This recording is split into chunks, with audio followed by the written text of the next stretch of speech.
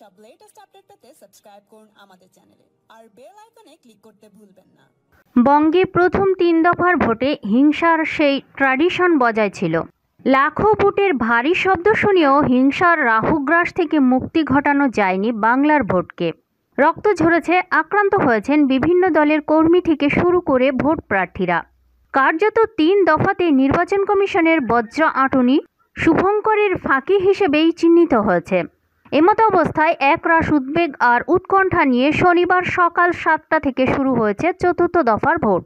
রাজ্যের পাঁচ জেলা, দক্ষিণ চব্বিশ পরগনা, হাওড়া, হুগলি, কোচবিহার ও আলিপুরদুয়ারের চুয়াল্লিশ আসনে আগামী পাঁচ বছরের জন্য নিজেদের ভাগ্য, দেবতাদের বেছে নিতে ভোটের লাইনে দাঁড়িয়েছেন ভোটাররা।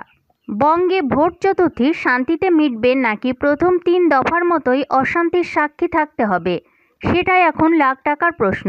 ভোট শুরুর আগে বালি বিধানসভার অন্তর্গত চৌষট্টি নম্বর বুথে বেলুড়ের লালবাবা কলেজে তৃণমূল বিজেপি সংঘর্ষ ঘিরে উত্তেজনা।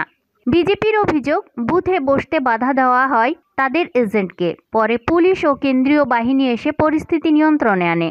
নাটাবাড়ি বিধানসভা কেন্দ্রে তৃণমূল প্রার্থী রবীন্দ্রনাথ ঘোষ মাথায় হেলমেট পরে ঘুরে বেড়াচ্ছেন।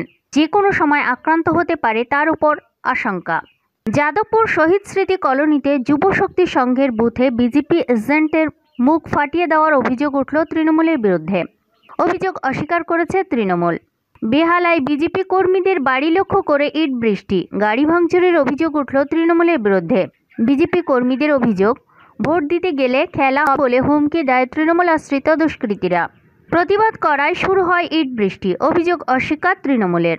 ভোটের আগের রাতে ভাঙড়ে তৃণমূল অফিসে হামলার অভিযোগ উঠল আইএসএফের বিরুদ্ধে। অভিযোগ, তৃণমূলের পঞ্চায়েত সদস্য ইসমাইল মোল্লার বাড়ির সামনে পার্টি অফিস ভাঙচুর করে আইএসএফ সদস্যরা।